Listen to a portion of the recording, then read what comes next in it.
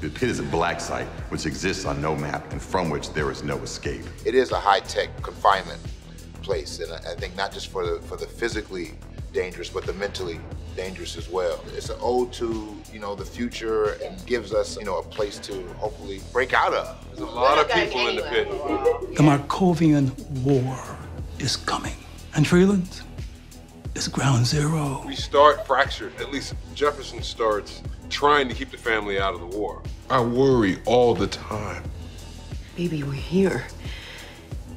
We're together. We're, we're all here. We're fine. You know, sometimes I just want to quit. I just shut it down, didn't I? We don't use our powers it. for the man. Yeah. Look, I know I'm always late. I promise I won't be late no more. I won't. Good.